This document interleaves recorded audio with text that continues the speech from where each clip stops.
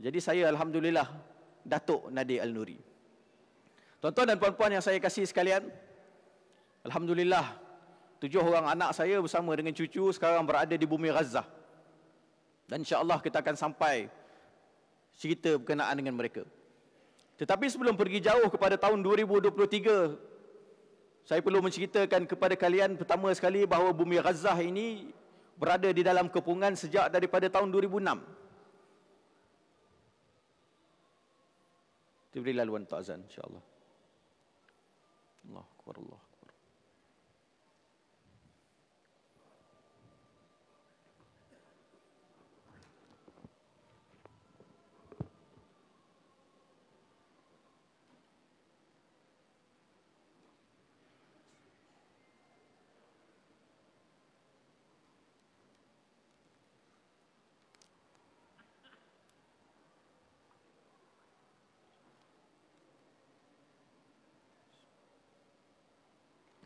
أعوذ بالله من الشيطان الرجيم. بسم الله الرحمن الرحيم. سبحان الله والحمد لله ولا إله إلا الله والله أكبر ولا حول ولا قوة إلا بالله العلي العظيم. اللهم صل على سيدنا محمد وعلى آله سيدنا محمد. الله يا كريم. الله أكبر الله.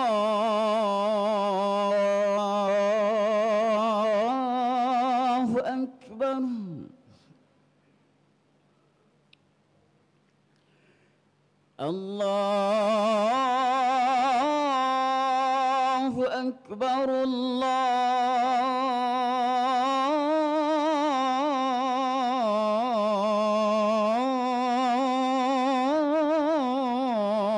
الله أكبر أشهد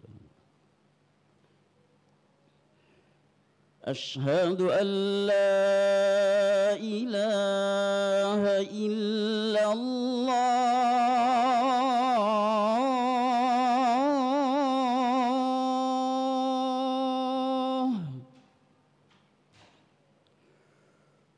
أشهد أن لا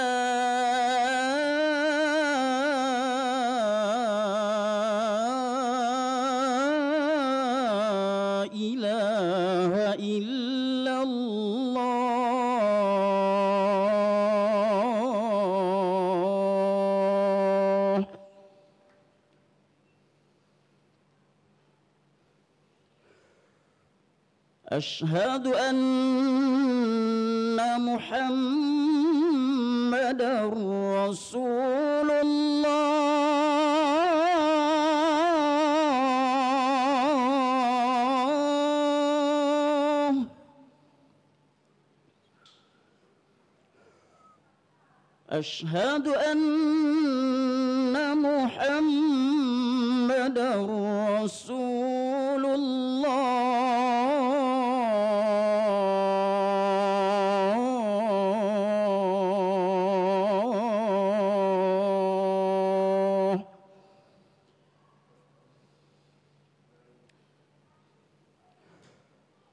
حي على الصلاة.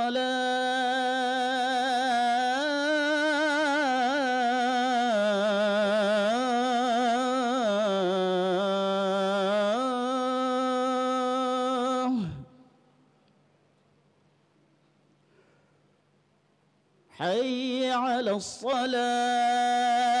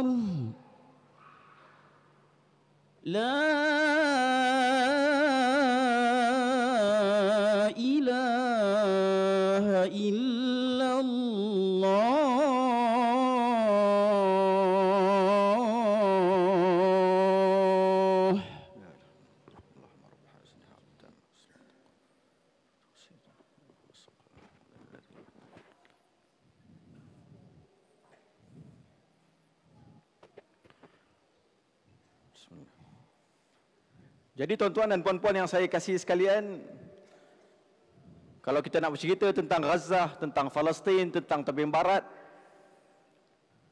perlu kita faham terlebih dahulu peta yang saya nak tunjukkan kepada kalian yang insya-Allah kalau kalian berikan perhatian kalian tidak akan lupa sampai bila-bila. Sebab saya rasa kalian yang berada di hadapan saya kalau tak semua majoritinya masih ada tangan tak seperti orang-orang pemuda-pemuda Palestin yang tangan-tangan mereka sudah tidak ada, kaki-kaki mereka sudah dibom. Tangan saya ini menunjukkan secara kasar peta Palestin. Peta Palestin ini dia memanjang daripada atas sampai ke bawah. Dan di peta ini ada beberapa kawasan, beberapa wilayah yang kalian kena kenal untuk kalian faham apa yang sentiasa diceritakan berkenaan dengan Palestin. Yang pertama sekali, ibu jari ataupun jari kelingking saya ini, kawasan yang paling kecil, satu wilayah yang bernama Gaza. Kawasan Gaza.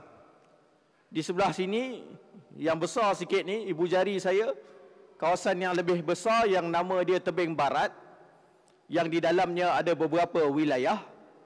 Dan yang tengah-tengah ni, yang besar ini ialah kawasan tanah jajahan Israel, Palestin ataupun tanah haram Israel. Maka bila kalian tengok peta ini, kalian akan faham pertama sekali bahawa kedua-dua kawasan Gaza dan juga tebing barat adalah kawasan yang terpisah. Orang yang berada di Gaza, mereka tidak boleh pergi ke tebing barat. Orang yang ada di tebing barat, bila berlaku serangan dan pembunuhan di Gaza, mereka tidak boleh pergi untuk bantu. Dan orang-orang yang ada di Gaza ini, Termasuklah saya yang duduk 11 tahun, termasuklah sahabat-sahabat saya yang memang lahir di situ. Mereka ini tidak pernah sembahyang di Masjidil Aqsa yang terletak di tebing barat. Tak boleh cross. Masuk ke dalam tanah haram Israel, nak pergi sembahyang di Masjidil Aqsa, tidak boleh. Walaupun jarak di antara Gaza dan juga Masjidil Aqsa, hanyalah kira-kira 90 km sahaja. Kumpulan yang kita kenal pada hari ini sebagai pejuang-pejuang Brigade Azzuddin Al-Qassam sayap bersenjata kepada kumpulan Hamas ada di kawasan ini di Gaza. Pusat mereka di sini, mereka berkembang di sini, mereka berlatih di sini. Di West Bank ataupun tebing barat hanya ada kumpulan-kumpulan kecil sahaja yang dibendung dan disekat pergerakan mereka. Sebab apa? Sebab Gaza sejak daripada tahun 2005 100% orang yang ada di dalamnya ialah orang-orang Palestin sahaja. Sama ada orang Palestin beragama Islam ataupun orang Palestin beragama Kristian yang ada sekitar 1000 orang di dalam Gaza. Sebab apa? Sebab tahun 2005 tersebut Zionis Israel Ariel Sharon mengarahkan semua orang Zionis yang ada dalam Gaza keluar daripada bumi Gaza. Tak tahan dengan tekanan kebangkitan operasi yang dibuat oleh orang-orang Gaza. Maka mereka keluar daripada Gaza, buka penempatan-penempatan haram yang baru. 100% orang yang berada di Gaza ialah orang-orang Palestin. Maksudnya pada hari ini pembantaian berlaku semua yang kena adalah orang Palestin. Kepungan yang berlaku semuanya adalah orang-orang Palestin. Sedangkan di sebelah West Bank berlaku percampuran penduduk orang Palestin dan juga orang Israel. Sebab itu kalau kalian baca di berita operasi Tikam tentera Israel mustahil berlaku di Gaza. Melainkan kalau mereka pergi dekat dengan sempadan, dapat tikam dekat sempadan. Tapi kalau berlaku secara berdepan, ia berlaku hanya di West Bank. Serangan melanggar tentera-tentera dengan kenderaan, West Bank. Serangan melalui udara, Gaza. Serangan melalui kereta kebal masuk ke dalam sempadan macam yang berlaku pada hari ini, berlaku di Gaza. Jadi Gaza ini adalah pusat kepada kebangkitan. Gaza ini adalah kawasan wilayah yang ditakuti oleh Zionis Israel. Walaupun ia berada di dalam kepungan sebab apa ia berada di dalam kepungan? Sebab kumpulan Hamas masuk dalam pilihan raya tahun 2006 menang di dalam pilihan raya menentang kumpulan Fatah. Bila mana mereka menang dalam pilihan raya, kuasa mereka tidak diiktiraf oleh masyarakat antarabangsa, oleh kuasa-kuasa besar, oleh Fatah itu sendiri, berlaku perang saudara pada tahun 2007-2008. Bila mana berlaku perang saudara, 100 orang mati, Fatah diusir keluar daripada Gaza, berkuasa semula di kawasan asal mereka iaitu di tebing barat. Hamas kekal berkuasa di Gaza tetapi mula sekatan ke atas bumi Gaza ketika itu. Sebab apa kita sebut sekatan? Sebab apa kita sebut the biggest open air prison? Sebab sempadan Gaza ini di sebelah kanan lautan Mediterranean. Orang Gaza, nelayan-nelayan, penduduk setempat tidak boleh keluar lebih daripada 12 batu nautika sebab kapal-kapal perang laut milik Zionis Israel berjaga di sepanjang lautan. Sebelah udara mereka tak boleh keluar sebab satu-satunya airport yang ada telah dibom, tidak dibenarkan untuk dibaiki semula. Sebelah daratan mereka tidak boleh keluar sebab sepanjang sempadan dijaga oleh tentera-tentera Zionis Israel, sempadan di antara Gaza dan juga tanah haram Israel. Maka satu sahaja laluan yang mereka ada iaitu pintu sempadan yang namanya pintu sempadan Rafah yang berada di sebelah selatan di bahagian bawah ini sempadannya ialah sempadan Gaza dengan apa? Sempadan Gaza dengan Mesir. Egypt. Sempadan ini langsung tidak ada kaitan dengan Israel, langsung tidak perlu melalui Israel. Seluruh kuasa untuk buka dan tutup sempadan ini ada pada tangan ada pada tangan Mesir. Sebab itu bila mana presiden yang baik seperti Dr. Mursi naik dia melayan Gaza seolah-olah sebahagian daripada wilayah Mesir. Maka dia dijatuhkan dan dibunuh. Orang yang naik menggantikannya mengembalikan Rafah kepada keadaan yang asal. Apa keadaan yang asal ditutup. Pada awal pemerintahan sekitar 2015, 2016 ditutup, dibuka setiap 3 bulan satu kali. Dan setiap kali dibuka, dibuka selama dua hari, dibenarkan 300 orang sahaja keluar daripada Gaza satu hari. Maksudnya setiap tiga bulan yang boleh keluar daripada Gaza adalah 600 orang. Saya daftar nak keluar daripada bumi Gaza tahun 2015-2016, masa itu saya dapat nombor lebih daripada 10,000. Jadi kalian buatlah matematik sendiri, 10,000 orang nak keluar, kalau setiap 3 bulan 600 orang yang dibenarkan keluar, berapa ramai orang yang boleh keluar dan berapa tahun yang diperlukan untuk keluar. Sekarang ni keadaan sempadan sebelum daripada peperangan dilonggarkan sedikit, dibenarkan untuk dibuka setiap hari melainkan Jumaat dan Sabtu, tetapi jumlah yang dibenarkan keluar masih lagi 300 orang. 3 bulan terakhir dalam keadaan tamat cuti musim panas dengan sebab orang semua nak balik ke universiti, dah habis menziarahi keluarga di luar dan sebagainya, tiga bulan itu yang nak masuk dan keluar daripada Gaza adalah seramai 40 ribu orang. Maka ramai yang tersekat tidak boleh keluar daripada bumi Gaza ini yang hidup dalam keadaan di luar daripada peperangan elektrik hanya ada selama maksimum 8 jam sehari. Kemudian 16 jam yang seterusnya akan putus. Mereka yang memilih untuk bekerja di Gaza kerana mereka bekerja di bawah kerajaan Hamas, maka gaji yang dibayar kepada mereka hanya sekitar 50%, 40% daripada yang selayaknya mereka dapat. Mereka yang duduk di bumi Gaza dengan sebab tidak dibenarkan keluar untuk mendapatkan rawatan bila mana ditimpa penyakit-penyakit kronik. Melihat ibu ayah mereka yang tua, anak-anak mereka yang kecil mati di hadapan mata mereka. Ini hakikat Gaza yang ramai orang tak sebut. Sebab orang ingat bila mana berlaku peperangan sahaja darah penduduk-penduduk Gaza tumpah. Orang ingat bila mana berlaku peperangan sahaja ada orang yang mati di dalam bumi Gaza sedangkan hakikatnya mereka berterusan hidup di dalam keperitan dan kesakitan. Maka saya duduk dengan mereka di dalam bumi ini. Yang mana di bumi ini berlaku peperangan secara interval. Orang Malaysia dia dengar perang bila berlaku dekat dengan bulan Ramadan dia akan kata apa? Oh Ramadan, Israel dia nak serang mujahidin sebab dia ingat mujahidin lembek berpuasa. Ini satu andaian yang tidak tepat. Tetapi yang tepatnya sebab apa? Mereka buat serangan pada waktu-waktu tertentu sebabnya yang paling besar ialah bila mana dekat dengan waktu pilihan raya mereka.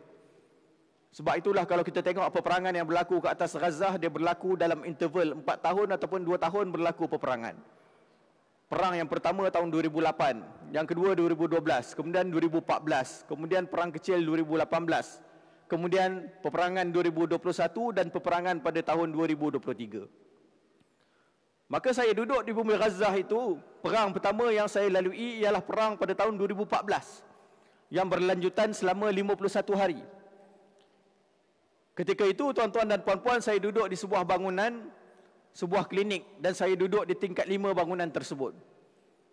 Bom jatuh dengan begitu kerap setiap beberapa minit akan ada roket-roket yang mengebom kawasan-kawasan yang kita tinggal. Setiap kali roket meledak kawasan yang kita tinggal maka bangunan ini dia akan bergoyang seolah-olah kita sedang bermain roller coaster. Satu hari di bulan Ramadan ketika mana perang itu sedang berlaku saya yang masih lagi bujang menyiapkan makanan untuk berbuka. Saya masak nasi putih dengan lauk daging masak hitam. Saja nak bagi lapar orang yang belum makan. Alhamdulillah, siap saya masak makanan tersebut, tiba-tiba bunyi satu letupan yang sangat kuat. Dan orang Palestin diajar kepada kita, bila mana dengar bunyi letupan yang sangat kuat, kena pergi tengok rumah kita yang dibom ke rumah orang lain. Sebab bila mana Israel dia nak mengebom mana-mana rumah, dia akan ketuk pintu terlebih dahulu. Tapi cara dia ketuk pintu bukan macam kita ketuk pintu jiran kita yang kita nak pergi ziarah.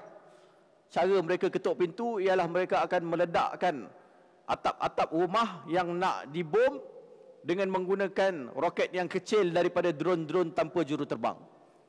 Jadi bila mana mereka ledakkan dengan drone-drone tersebut, kita tahulah bahawa kita ada masa 3 sehingga 5 minit untuk lari meninggalkan rumah tersebut sebelum datangnya F-16, F-35 yang akan meledakkan keseluruhan dan meranapkan keseluruhan bangunan tersebut. Maka saya pun dengarlah cakap kawan-kawan saya, saya buka tingkap nak tengok rumah saya yang kena bom ataupun bukan rumah saya. Rupa-rupanya Alhamdulillah bukan rumah saya yang dibom. Yang dibom ialah rumah di sebelah rumah saya. Maka saya pun tutup balik tingkap, azan berkumandang, saya pun berbuka puasa. Nasi, daging masak hitam. Esoknya saya turun nak tengok tempat yang telah dibom. Kenapa tempat itu dibom? Kita dapati rupanya rumah dekat sebelah rumah saya itu digunakan oleh para mujahidin sebagai depo tempat simpanan roket-roket mereka. Mujahidin ini mereka bukan tentera rasmi Palestin, Palestin tidak ada tentera. Mereka bukannya tentera-tentera rasmi yang ada tempat menyimpan senjata-senjata mereka, melakukan latihan-latihan mereka, tidak. Tetapi mereka terpaksa menggunakan apa sahaja kemudahan yang ada untuk membolehkan mereka terus bertindak mempertahankan bumi Gaza dan bumi Palestin mewakili kita semua.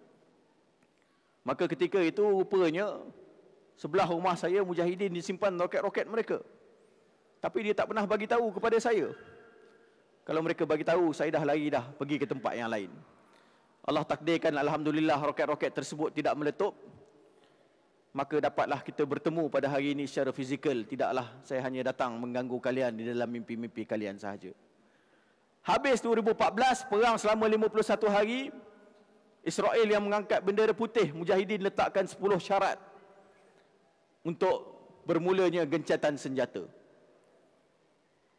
Habis 2014, perang 2021 11 hari masuk kepada perang 2023 yang masih berterusan sehingga kini. Perang pertama yang saya lalui dalam keadaan saya tidak berada di bumi Gaza.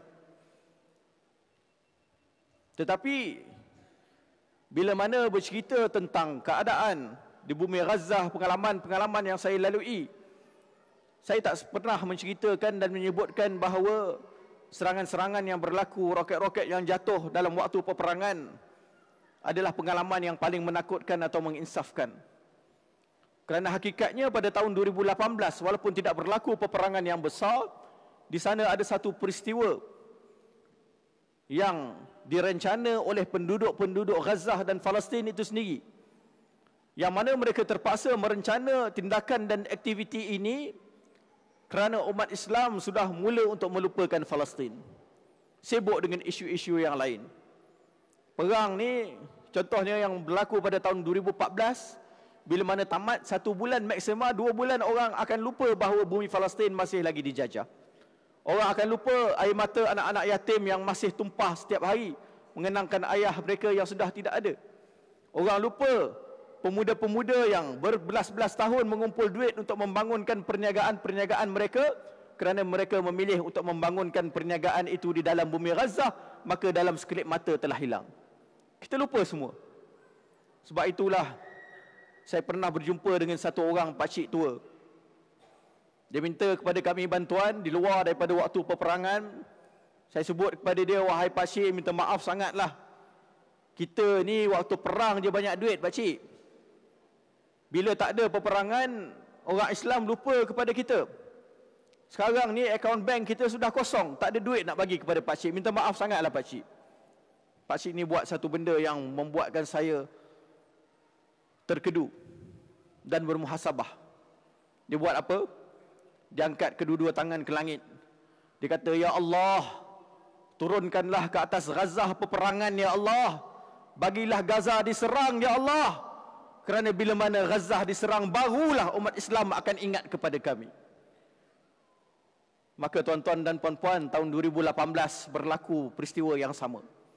Pada pemuda ini yang menyedari bahawa umat Islam sudah melupakan mereka merencana satu tindakan dan aktiviti yang diberi nama sebagai The Great Return March Al-Masirah Al-Audatul Kubra di mana puluhan ribu para pemuda berkumpul di sepanjang sempadan di enam lokasi mereka berkumpul dan berarak mendekati sempadan tanpa rasa takut, tanpa membawa apa-apa kelengkapan.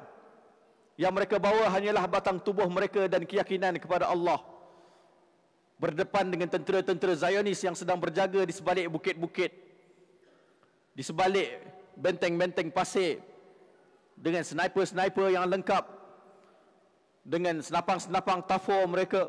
Dengan kereta-kereta kebal Merkava mereka berjaga di sepanjang sempadan. Tetapi pada pemuda ini mereka tidak takut. Setiap kali mereka melaungkan takbir Allahu Akbar, maka mereka akan bergerak satu langkah ke hadapan. Mereka laungkan lagi Allahu Akbar, mereka bergerak satu lagi langkah ke hadapan mendekati sempadan. Ketika itu sahabat-sahabat saya di sebelah kanan saya, saya panggil mereka sebagai unit tayar. Sebab apa unit tayar? Sebab mereka ini lagi dengan membawa tayar ke barisan paling hadapan. Dibakar tayar-tayar tersebut supaya asap hitam yang berkepul-kepul naik ke udara dapat menghalang pemandangan sniper-sniper Zionis daripada melihat pemuda-pemuda yang sedang mara ke hadapan. Di sebelah kiri saya satu kumpulan saya panggil mereka sebagai unit pagar. Sebab apa unit pagar? Sebab mereka inilah yang membawa tali-tali yang panjang dipasangkan dengan cangkuk-cangkuk besi mereka lari ke arah pagar sangkutkan cangkuk tersebut ditarik beramai-ramai nak dijatuhkan pagar-pagar pemisah supaya mereka boleh kembali ke tanah mereka yang terjajah ketika itu tuan-tuan dan puan-puan saya melihat bagaimana sniper-sniper Zionis ini mereka cukup terlatih di dalam tindakan-tindakan mereka satu orang sniper Zionis di hadapan saya dengan satu butir peluru mampu menumbangkan tiga orang pemuda. Dia tembak kaki seorang lelaki, tembus kakinya. Masuk ke dalam kaki pemuda yang kedua, di belakangnya, tembus. Masuk ke dalam kaki pemuda yang ketiga, barulah peluru tersebut terhenti. Tumbang tiga orang pemuda. Ketika itu tuan-tuan dan puan-puan, saya berada di belakang pemuda yang ketiga. Jadi tuan-tuan, satu hari nanti ada rezeki sampai ke bumi Gaza nak ikut demonstrasi, pastikan ada tiga orang di hadapan. Ketika itu tuan-tuan dan puan-puan kita dikhabarkan bahawa tentera Zionis menggunakan satu jenis peluru yang namanya butterfly bullet. Kita dengar rasa macam sedap, macam indah namanya. Tapi sebab apa namanya butterfly bullet? Sebab butterfly bullet ini bila digunakan untuk menembak mangsa, dia akan masuk ke dalam batang tubuh mangsa, dia akan terbuka dan dia akan berpusing seperti butterfly, merobek segala isi kandungan dan organ-organ dalaman orang yang ditembak sebelum keluar meninggalkan batang tubuh orang tersebut. Ketika itu tuan-tuan dan puan-puan, Kita lihat isi-isi perut yang terburai, tangan-tangan yang terputus, kaki-kaki yang tercabut. Tetapi ketika itu setiap kali kita mendengar laungan syahid-syahid, pemuda-pemuda ini mereka tidak lari daripada tempat tembakan dilepaskan. Malah mereka berlari ke arahnya, cari mana pemuda yang syahid. Sebab mereka nak berlumba-lumba mendapatkan pahala, menjunjung lelaki-lelaki ini di atas bahu-bahu mereka dibawa ke ambulans seterusnya ke tanah-tanah perkuburan. Maka tuan-tuan dan puan-puan, ketika itu sahabat-sahabat saya di Gaza sebutkan dan ajarkan kepada saya, kata mereka, wahai Nadik, kalau kau dengar bunyi peluru, jangan kau takut. Sebab peluru bila mana disasarkan ke arah engkau, engkau tidak akan mendengarnya. Kalau orang nak tembak engkau, kau takkan dengar bunyi peluru tersebut dilepaskan daripada senapang-senapang Zionis. Yang kau akan dengar hanyalah bunyi bisikan bidadari hurul ain. Wahai Nadir, engkau telah berada di syurga. Tuan-tuan dan puan-puan yang saya kasihi sekalian, perang 2023 yang berlaku ketika ini cukup luar biasa. Pertama kali dalam sejarah mujahidin, mereka berjaya untuk menerobos masuk ke dalam tanah haram Israel di mana sebelum daripada ini mereka hanya bertindak secara defensif mempertahankan bumi Gaza daripada dalam mereka masuk dengan beberapa tujuan yang sangat jelas memulakan tindakan mereka dan mereka tahu apa yang mereka nak lakukan walaupun ia menjadi kejutan kepada seluruh umat Islam umat bukan Islam dan kepada seluruh rakan-rakan juga di kalangan para mujahidin kerana ketika itu bila mana berlakunya serangan pada 7 Oktober tersebut berlaku sekitar 6 pagi, 6.30 pagi di waktu Gaza. Di bumi Malaysia sekitar 12.30 tengah hari. Telefon saya dihujani dengan WhatsApp-WhatsApp yang masuk daripada rakan-rakan keluarga yang berada di sana. Mereka maklumkan bahawa mereka dikejutkan dengan bunyi roket-roket yang dilepaskan daripada Gaza dengan begitu banyak masuk ke dalam tanah haram Israel mereka dikejutkan dengan berita-berita bahawa pagar-pagar dan dinding pemisah telah pun berjaya diletupkan oleh mujahidin dan mujahidin sedang masuk ke dalam tanah haram Israel dengan motosikal-motosikal mereka. Malah mereka ceritakan bagaimana berita-berita tersebar bahawa para mujahidin sedang masuk ke dalam tanah haram Israel dengan terbang melepasi pagar-pagar pemisah. Maka ketika itu tidak ada siapa yang tahu apa yang berlaku sehinggalah keluarnya Komander Am Brigade Izzuddin Al-Qassam yang namanya Muhammad Ad-Daif atau Abu Khalid Ad-Daif. Abu Khalid Ad-Daif ini seorang lelaki yang cukup digeruni oleh musuh-musuh Islam di seluruh dunia. Bukan sahaja di Israel. Dia pernah cuba untuk dibunuh sebanyak 8 kali. Tidak berjaya.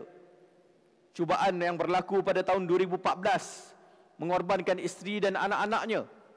Tetapi roket yang jatuh Selepas daripada itu untuk mensasarkan dia Allah takdirkan tidak meletup. Maka Abu Khalid Ad-Daif ini dia keluar dalam ucapan sulungnya. Selepas operasi telah mula dilancarkan. Dan dia sebut ketika ini kita sedang melancarkan satu operasi menghantar mujahidin kita masuk ke dalam tanah haram Israel. Kita telah mengarahkan mereka untuk menakluk beberapa kawasan di dalam sana menyelesaikan beberapa objektif yang tertentu yang kita khususkan. Dan pada hari ini kita telah melancarkan 5,000 roket dalam masa 20 minit masuk ke dalam tanah haram Israel. Operasi ini kita namakannya sebagai Tufanul Aqsa. Taufan Al-Aqsa. Maka Taufan Al-Aqsa ini nama yang cukup signifikan. Datang seperti taufan yang mengejut, tidak ada orang tahu apa yang sedang berlaku datang seperti taufan yang mengejut menghapuskan segala halangan yang ada di hadapan mereka datang seperti taufan menggunakan segala kekuatan yang ada pada mujahidin untuk mencapai objektif-objektif mereka yang akan kita kongsikan sekejap lagi. Ketika itu para mujahidin masuk ke dalam bumi Palestin yang dijajah. Bukan sahaja dengan menghantar roket-roket yang begitu banyak tetapi pada masa yang sama memperkenalkan satu unit yang baru di dalam kumpulan Brigade Izzuddin Al-Qassam yang namanya Wahdatus Saqr ataupun Eagle Unit, unit helang. Yang mana unit helang ini mujahidin menggunakan peralatan para motor dan para gliding boleh terbang masuk ke dalam tanah haram Israel tidak berjaya dikesan oleh empat dan lima lapisan teknologi dan peralatan canggih yang mereka gunakan untuk menghalang serangan daripada udara berjaya masuk dan menawan beberapa kawasan di dalam tanah haram Israel tersebut. Tuan-tuan dan puan-puan ketika itu Abu Khalid Ad-Daif menyebutkan dalam ucapan yang sama bahawa operasi ini tidak akan berjaya melainkan kalau ia disokong oleh umat Islam seluruh dunia. Tetapi secara khusus beliau menyebutkan nama beberapa buah negara. Beliau memberikan tanggungjawab kepada beberapa buah negara untuk memastikan operasi ini tidak gagal. Beliau memberikan tanggungjawab kepada beberapa rakyat, orang-orang Islam, umat Islam yang boleh diharapkan untuk memastikan perjuangan ini selesai. Tak banyak nama negara yang disebutkan tuan-tuan dan puan-puan. Tetapi kita kena berbangga kerana salah sebuah nama negara yang disebutkan ialah nama Malaysia yang kita kasihi. Bayangkan sebuah negara nun jauh di sana. Bukan negara Arab, bukan negara kaya, bukan negara superpower. Tetapi diberikan pengharapan kepada setiap daripada kalian untuk memastikan perjuangan pada kali ini insya-Allah menjadi permulaan kepada sebuah pengakhiran penjajahan tentera Zionis Israel. Ketika itu tuan-tuan dan puan-puan mereka memulakan operasi pada 7 Oktober untuk mencapai tiga objektif yang utama. Ramai orang dia tak tahu kenapa mujahidin masuk.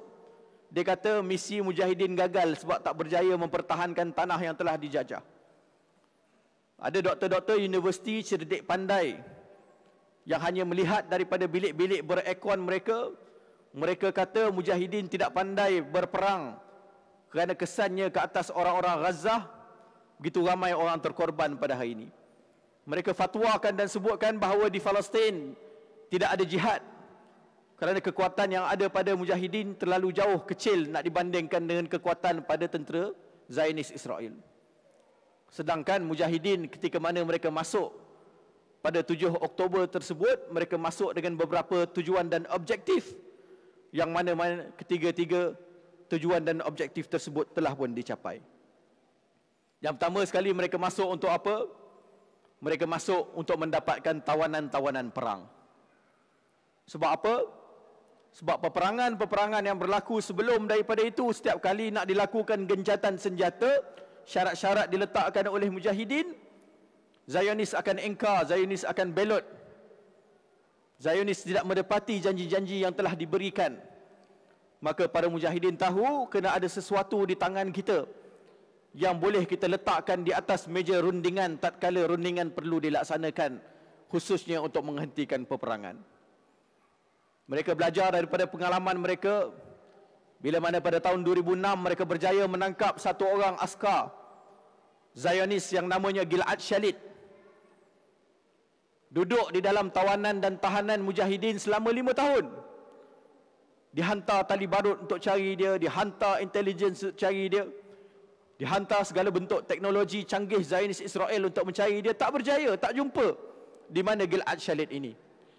Walaupun selepas dia dibebaskan, dia bercerita, banyak hari saya keluar bersama dengan para mujahidin, pergi ke laut untuk barbecue.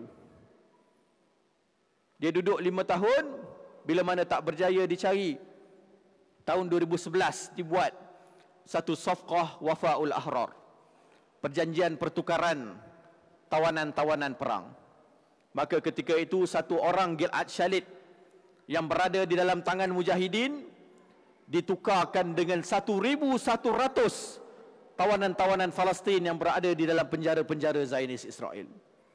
Maka ketika ini tuan-tuan dan puan-puan objektif yang pertama telah berjaya.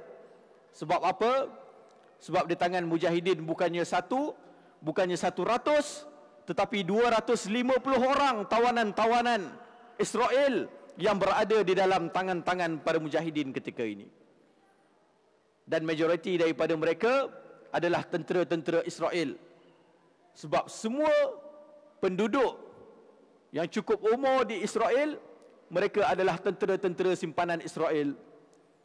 pemuda berusia 18 tahun wajib ikut latihan ketenteraan menjadi tentera simpanan. Wanita berusia 19 tahun wajib ikut latihan ketenteraan satu tahun setengah dan keluar menjadi tentera-tentera simpanan. Maka tidak ada istilah civilian, orang-orang awam di dalam bumi Israel melainkan kanak-kanak dan orang yang sudah terlalu tua untuk berperang dan terbukti mujahidin melaksanakan peperangan dengan mengikut lunas-lunas yang digariskan oleh agama Islam. Bila mana pada minggu pertama serangan balas ke atas Gaza di waktu ribuan nyawa-nyawa sedang dikorbankan oleh Zionis Israel para mujahidin melepaskan seorang wanita bersama-sama dengan anak-anaknya. Mujahidin melepaskan seterusnya dua orang wanita tua yang sudah terlalu sakit tak dapat nak dijaga. Dan bila mana wanita dua orang ini dilepaskan tuan-tuan dan puan-puan, bila mana mereka nak masuk ke dalam ambulans Red Crescent, mereka salam dengan mujahidin. Mereka ucapkan terima kasih kerana telah menjaga kami balik ke Israel buat temu ramah yang cuba dihalang oleh CNN dan seangkatan dengannya. Mereka kata apa? Mereka kata kami dijaga dengan sangat baik oleh mujahidin. Doktor-doktor disediakan untuk menjaga dan melihat apa keperluan kami. Kami ditanya ubat-ubat apa yang kami perlukan, semua ubat yang kami perlukan disediakan untuk kami. Malah kami disediakan dengan pengiring-pengiring wanita supaya privasi kami tidak terganggu. Ini akhlak mujahidin. Mereka masuk, mereka ambil tawanan dan kini sedang berbincang untuk melepaskan tawanan-tawanan yang tidak boleh kekal berada di dalam tangan-tangan mereka dengan isu keselamatan ataupun kesihatan dan sebagainya. Tujuan yang kedua, masuk ke dalam tanah haram Israel pada 7 Oktober nak menghentikan normalisasi sebuah negara Arab yang besar dan hebat sebuah negara Arab yang kaya dan berpengaruh yang mana kalau negara Arab ini melaksanakan normalisasi negara-negara Arab yang kecil yang lain akan ikut. Ditekan negara Arab ini untuk berhenti jangan buat normalisasi dengan Zionis. Disuruh untuk fikirkan semula keputusan mereka difatwakan oleh para ulama haram. Mereka tak dengar. Mereka dah merancang untuk laksanakan persetujuan tersebut pada bulan 11 ini November 2023. Tetapi Allah takdirkan mereka ditundukkan oleh sekitar 1,000 orang mujahidin saja yang masuk ke dalam tanah haram Israel melakukan operasi memalukan Israel dan menyebabkan serangan balas berlaku ke atas Gaza sehingga negara haram ini, negara Arab ini malu untuk terus melakukan perjanjian-perjanjian persenjataan ekonomi dan sebagainya bersama dengan Israel. Mereka mengangkat tangan dan menyebutkan bahawa kami telah pun berhenti dengan rundingan melaksanakan normalisasi dan kami akan bersama dengan perjuangan Palestin. Apa negara ini tuan-tuan dan puan-puan? Negara ini adalah negara yang diberi tanggungjawab untuk menjaga Al-Haramain Al-Sharifain duka citanya yang diberi tanggungjawab untuk menjaga Mekah dan Madinah iaitu negara Arab Saudi. Objektif kedua berjaya. Objektif yang ketiga pakar-pakar peperangan di kalangan mujahidin. Mereka telah buat analisa, kajian, mereka dapati bahawa sebenarnya Zionis Israel selepas habis tujuh hari perayaan Yahudi yang sedang dilaksanakan di Israel, mereka akan terlebih dahulu membuat serangan ke dalam bumi Gaza. Maksudnya kalau tak serang Israel, Gaza yang akan diserang terlebih dahulu. Sebab keadaan ekonomi dan politik yang tidak stabil di dalam bumi Israel. Maka Benjamin Netanyahu, Perdana Menterinya yang dipalit dengan seribu satu tuduhan. Salah guna kuasa, rasuah dan sebagainya. Perlu mengambil satu tindakan untuk mendapatkan semula sokongan rakyatnya. Dan sebagaimana yang dilakukan pada waktu-waktu yang terdahulu, tindakan yang boleh dia lakukan ialah menggunakan Gaza sebagai kuda tunggangan serang Gaza, naikkan diri sendiri sebagai hero yang boleh mempertahankan tanah haram Israel tersebut. Maka Mujahidin telah berjaya melaksanakan serangan mencapai objektif dua yang terawal yang menjadikan objektif yang ketiga ini juga telah pun tercapai. Maka tinggallah satu soal tuan-tuan dan puan-puan. Adakah rakyat Gaza mereka marah dengan mujahidin pada hari ini? Adakah mereka tahu bahawa Zionis akan melakukan balas dendam dan kalau boleh diputarkan masa mereka tak nak mujahidin masuk ke dalam tanah haram Israel? Adakah mereka menyebutkan bahawa kami tidak sanggup lagi untuk mengorbankan perniagaan-perniagaan kami, rumah-rumah kami, harta kami dan nyawa anak-anak kami? Tuan-tuan dan puan-puan yang saya kasih sekalian, saya bawakan kepada kalian bersama-sama dengan saya tiga orang sahabat datang dari Gaza. Keluar sebelum saya datang ke Malaysia untuk berbincang perancangan strategik cinta Gaza Malaysia. Nak balik ke Gaza, singgah buat umrah di Saudi. Nak keluar balik daripada Saudi ataupun mereka sampai ke bumi Saudi, duka citanya pada 7 Oktober mula berlaku serangan ke atas Gaza dan sempadan-sempadan ditutup. Maka mereka tidak dapat kembali ke bumi Gaza.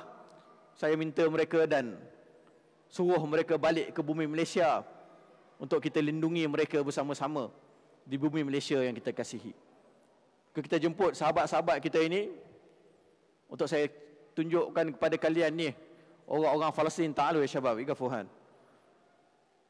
Tiga orang pemuda yang saya bawa ini tuan-tuan dan puan-puan Untuk saya tunjuk ni contoh depan mata kalian. Kalau saya tipu sekejap lagi tanya dengan diorang Apa yang saya bongkarkan tentang mereka ini? Kesediaan mereka mengorbankan Nyawa-nyawa anak-anak mereka. Nyawa isteri mereka. Rumah-rumah mereka. Perniagaan-perniagaan mereka. Untuk memastikan bumi Palestin dapat dibebaskan. Sahabat saya yang paling hujung Al-Akh Ala Mansur Masters di dalam bidang pengurusan dan media Memegang bahagian portfolio kemanusiaan Di bumi Gaza di bawah Persatuan Cinta Gaza Malaysia. Berkahwin mempunyai dua orang anak. Dua minggu lepas Sedang berceramah di bumi Kuantan. Tiba-tiba masuk satu mesej WhatsApp ke dalam telefonnya mengatakan bahawa rumah di sebelah rumah anak-anak dan isterinya berlindung dibom oleh Zionis Israel. Satu jam ditunggu dengan penuh debaran nak tahu adakah silsilah dan keturunannya di bumi telah pun tamat. Allah takdirkan Alhamdulillah kedua-dua anaknya selamat tetapi awalnya tidak diketahui isterinya berada di mana. Tunggu dan tunggu Alhamdulillah dapat pula maklumat bahawa isterinya berada di bawah runtuhan sedang panggil orang datang untuk tolong selamatkannya daripada bawah runtuhan. Dapat dikeluarkan dalam keadaan cedera tetapi masih lagi bernyawa. Tadi sekejap tadi dalam kami perjalanan ke sini dimaklumkan masjid sebelah rumah dia dibom. Sampai sekarang tak tahu keluarganya masih lagi hidup ataupun tidak, ada di mana. Masih menunggu berita daripada bumi Gaza yang tidak ada elektrik dan tidak ada internet pada waktu ini. Di sebelahnya Al-Akh Syadi Salim Masters di dalam bidang linguistik bahasa Inggeris. Posisi portfolio memegang pusat budaya Malaysia di Palestin di bawah cinta Gaza Malaysia.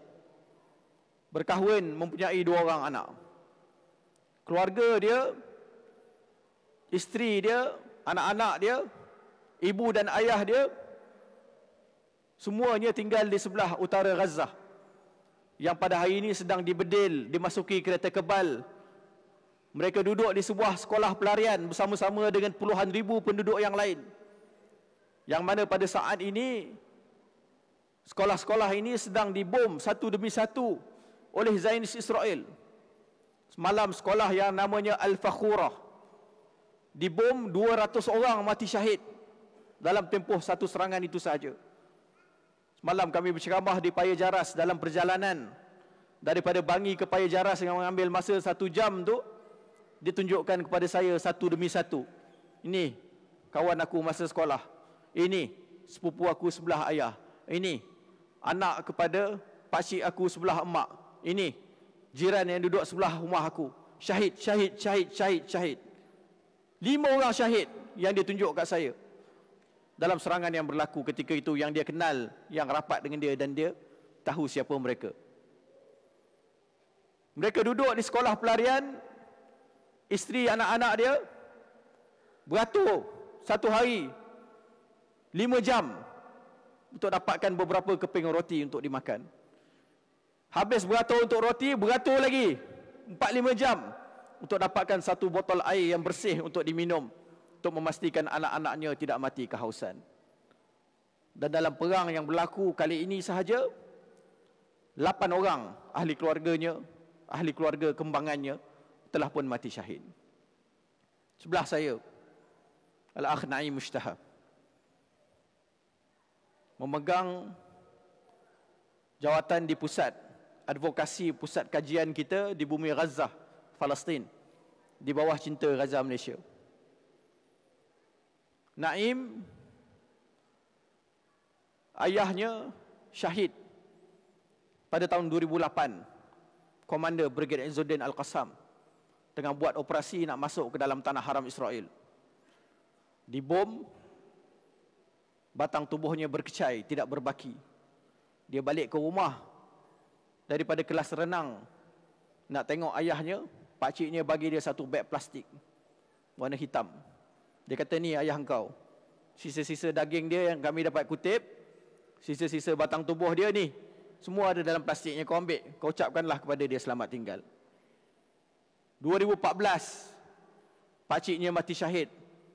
Anggota Brigade Izzuddin Al-Qassam. Syahid sedang berjaga di sepanjang sempadan di Bedil dengan roket terbenam 3-4 meter di bawah runtuhan bangunan bila mana diumumkan gencatan senjata 48 jam untuk menyelamatkan para syuhada atau mendapatkan batang tubuh mereka digali jumpa pakciknya Syahid Abdullah Al-Minawi dalam keadaan masih lagi memeluk senjata yang digunakan untuk mempertahankan bumi Gaza dan Palestin. Maka adik-beradiknya pakcik-pakcik kepada Naim ini nak keluarkan Syahid Abdullah daripada bawah runtuhan Asyahid ini yang telah pun terkorban beberapa hari. Nak keluar daripada bawah runtuhan, pehanya sangkut pada dawai bangunan yang telah pun roboh. Bila mana keluar daripada bangunan tersebut, pehanya koyak terkena dawai, darah mengalir turun daripada pehanya. Walaupun dah banyak hari dah mati syahid. Yang disebutkan oleh Allah di dalam Al-Quran, para syuhada ini mereka tidak mati, tetapi mereka ini bal ahya inda rabbihim yurzaqun. Hidup di Tuhan di sisi Tuhan mereka dalam keadaan diberi rezeki yang melimpah ruah rezeki yang banyak. Maka inilah yang mereka kejar. Dalam perang pada kali ini 2023 tiga minggu yang lepas dapat berita rumah makciknya dibom tempat mereka berkumpul untuk berlindung bersama-sama dua orang makciknya mati syahid. Bersama-sama dengan suami-suami mereka. Bersama-sama dengan sepuluh orang anak. Semua mati syahid. Dan sehingga kini belum lagi dapat dikeluarkan daripada bawah runtuhan. Maka tuan-tuan dan puan-puan, sejak lagi kalau ada masa jumpa dengan mereka, tanya mereka, adakah mereka masih sanggup untuk mengorbankan nyawa-nyawa untuk Palestin? Maka mereka akan jawab, bukan sahaja nyawa malah anak-anak aku isteri aku dan batang tubuh aku. Kalau aku boleh korbankan untuk Palestin maka aku akan doa supaya aku boleh hidup semula supaya aku korbankannya semula dan aku hidup semula sampailah aku boleh membebaskan bumi Palestin tersebut. Tuan-tuan dan puan-puan yang saya kasih sekalian saya juga berdepan dengan perkara yang sama hari yang pertama kedua ketiga isteri dan anak-anak masih lagi berada di rumah. Kemudian mereka menghubungi saya menyebutkan bahawa rumah kita ni risiko tinggi dibom. Sebab satu bangunan dengan Persatuan Cinta Gaza Malaysia yang duk bagi sumbangan kepada Gaza. Ugudu Syabab. Uguduhan. Dan ketika itu kawasan seluruh kawasan kami itu berlaku pengumuman yang begitu kerap yang menyebabkan isteri saya kata, wahai suamiku, aku nak minta izin daripada engkau. Aku nak pergi duduk dekat rumah adik ipar kita ni. Yang berdekatan dengan rumah kita. Maka saya benarkan dan izinkan mereka pergi. Mereka duduk di rumah adik ipar tak sampai 24 jam. Masjid di hadapan rumah dibom. Yang menyebabkan rumah turut musnah tidak boleh diduduki. Bila mana dibom masjid tersebut, kesannya sampai ke rumah isteri saya bawa anak saya. Namanya Ibrahim Al-Khalil usianya satu tahun setengah. Nak bawa luar keluar lari daripada kawasan tersebut.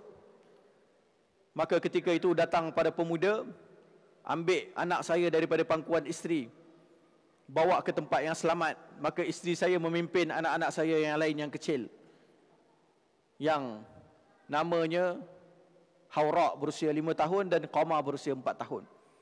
Dibawa keluar daripada rumah, jalan raya dipenuhi dengan batang tubuh manusia, kaki-kaki yang terputus, tangan-tangan yang tercabut. Para syuhada jasad mereka sebelas orang yang mati syahid dalam serangan yang berlaku ketika itu. Lagi, pergi lagi ke tempat yang lain. Beberapa hari selepas daripada itu, dapat amaran daripada Zainis Israel seluruh penduduk yang berada di sebelah utara Gaza dan bandar Gaza 1.1 juta orang itu diarahkan untuk pergi ke sebelah Gaza Tengah dan juga Gaza Selatan. Maka ketika itu isteri saya sekali lagi menghantar pesanan kepada saya. Dia sebutkan, wahai suamiku, aku nak minta izin daripada engkau. Nak gunakan kenderaan kita yang ada di Gaza ini untuk aku bawa anak-anak kita dan bawa keluarga ipar kita pergi ke sebelah Gaza Tengah. Maka ketika itu tuan-tuan dan puan-puan, saya marah kepada isteri saya. Saya kata, wahai isteriku, moyang engkau adalah seorang asyahid. Datuk engkau adalah seorang asyahid. Suami engkau adalah seorang asyahid. Adik engkau adalah seorang asyahid.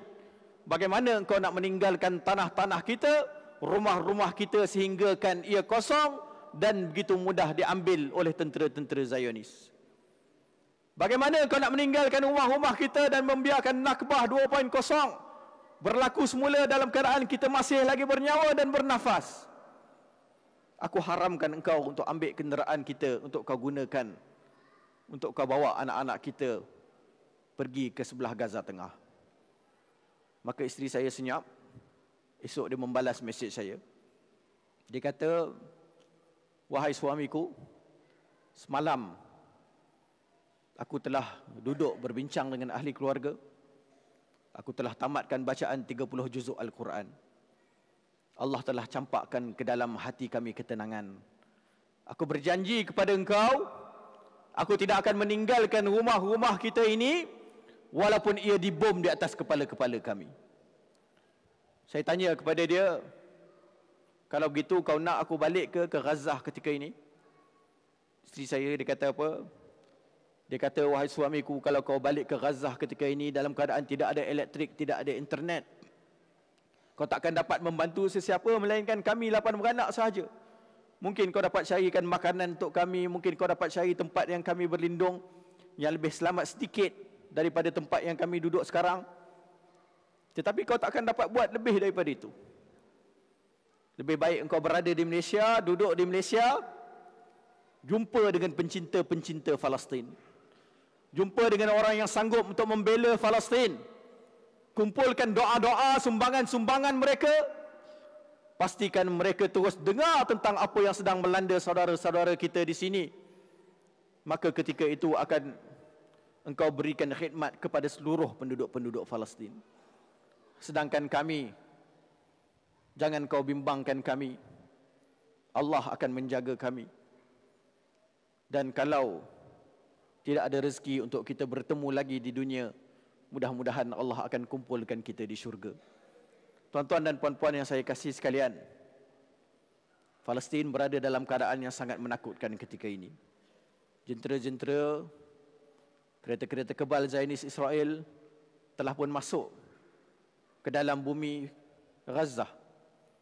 Kawasan yang besar telah mereka duduki dan mujahidin dengan kemampuan mereka yang terhad masih cuba dengan sedaya upaya mereka untuk memastikan kawasan-kawasan tersebut dapat dipertahankan. Sehingga kini mereka menyebutkan di laman-laman rasmi mereka bahawa lebih daripada 200 kereta-kereta kebal, jentolak-jentolak, kenderaan-kenderaan berperisai milik Zionis Israel telah berjaya dimusnahkan dalam tempoh beberapa hari Israel masuk melalui jalan darat. Mereka memberikan kepada kita keyakinan untuk kita terus teguh bersama-sama dengan perjuangan mereka mereka tak minta kita pergi mengorbankan batang tubuh kita. Mereka tidak minta untuk kita hantarkan anak-anak kita. Mereka tidak minta walau setitik darah daripada kita. Kita berjuang dengan cara kita masing-masing. Kita berjuang dengan boykot kita, dengan doa kita, dengan sumbangan kita. Dan insya Allah kita doakan kita menjadi generasi pembebas Masjid Al-Aqsa dan bumi Palestin dalam keadaan kita masih lagi bernyawa. Dan mudah-mudahan kita tidak mengecewakan mereka, tidak menghampakan hasrat apa yang disebutkan oleh Abu Khalid Ad-Daif. Seruan khusus kepada kita untuk bersama-sama sehingga ke akhirnya untuk mereka. Tuan-tuan dan puan-puan yang saya kasih sekalian, akhir sekali saya memohon maaf di atas ketelanjuran kata saya rasa saya pun dah terlebih masa dah sikit maaf Ustaz Izzuan dia bagi tahu mula-mula 8.40 kena berhenti. Lepas tu dia tambah masa tambahan 8.50 lepas tu saya kata tak apalah saya tambah je siapa yang nak balik baliklah Ustaz. Kan selalu kita datang dan musyawarah bawa pula kawan-kawan daripada Gaza dua orang dan yang botak ni yang handsome ni anak tiri sulung saya. Dan alhamdulillah kita ada sedikit lagi ruang masa insya-Allah selepas tamat. Kita solat dan sebagainya kalian duduklah ceritalah dengan mereka, beramah mesra dengan mereka dan berikan suntikan semangat kepada mereka untuk terus bertahan dan menjadi sumber kekuatan kepada keluarga mereka yang berada di Gaza insya-Allah. Saya ucapkan terima kasih kepada pihak masjid atas jemputan pada hari ini dan mudah-mudahan kita ada peluang untuk bertemu pada masa-masa yang akan datang. Aku li qauli hadza wa astaghfirullahal azim li wa lakum. Wassalamualaikum warahmatullahi wabarakatuh.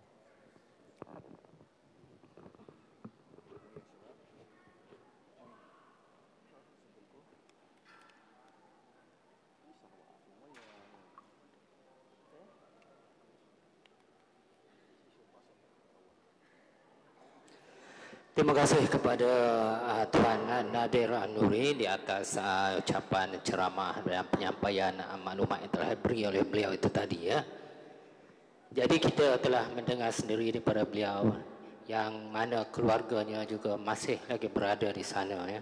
Jadi semoga perjuangan saudara-saudara kita di Palestin akan diberi kemenangan oleh Allah Subhanahu Wa Taala ya dan semoga Tuan Nadir dan tim dia akan diberi kekuatan, dipermudahkan urusan dalam memperjuangkan rakyat Palestin ya. Dan semoga Persatuan Cinta Gaza Malaysia ya yang diasaskan oleh Tuan Nadir akan terus bergerak membantu saudara-saudara kita di Palestin sana. Dan sesungguhnya ianya memerlukan sokongan daripada kita semua ya. Jadi saya percaya sebenarnya banyak lagi ya yang hendak dikongsikan oleh Tuan Nadir. Jadi kalau ada sebarang uh, pertanyaan apa kita akan berjumpa selepas solat Isyak nanti ya bersama mereka ya. Jadi uh, sekali lagi jutaan terima kasih kepada daripada pihak uh, masjid kepada Tuan Nadir dan tim Cinta Gaza Malaysia yang dapat bersama kita pada program Solidarity Palestin pada malam ini ya. Dan saya tengok daripada uh, pergerakan uh, beliau Tuan Nadir uh, hampir setiap hari ya beberapa tempat mereka pergi ya. Hari ini pagi tadi di Terengganu, tengah hari di Shah dan malam ni alhamdulillah dapat sampai ke sini ya. Jadi selepas ini kita akan terus solat Isyak berjemaah dan kemudian uh, selepas itu kita akan baca uh, kunut nazilah oleh imam kita, kita baca sama-sama dan seterusnya kita baca terjemahan dalam bahasa Malaysia. Semoga ini akan memberikan semangat kepada kita semua ya untuk terus ya bersama dengan uh, para pejuang Palestin ya untuk mencapai keamanan dan mendapatkan sekali sekali semula tanah air mereka negara Palestin yang merdeka ya. Jadi dengan itu uh, dengan itu sekian saja. Jadi selepas ni kita terus sambung solat dan uh, ada sesi lah boleh berjumpa dengan Tuan Nadir dan tim-tim uh, daripada Gaza. Eh. Terima kasih semua. Eh.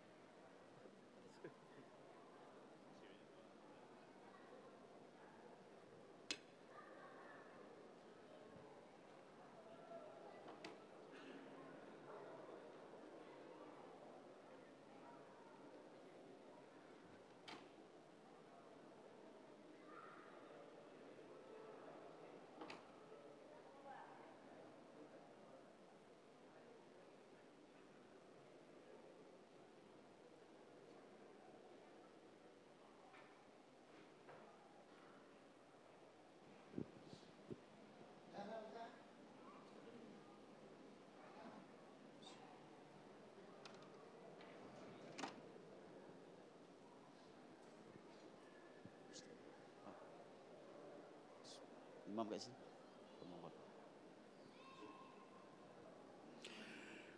الله أكبر الله أكبر أشهد أن لا إله إلا الله أشهد أن محمد رسول الله حي على الصلاة حي على الفلاح قد قامت الصلاة قد قامت الصلاة. الله أكبر الله أكبر. لا إله إلا الله.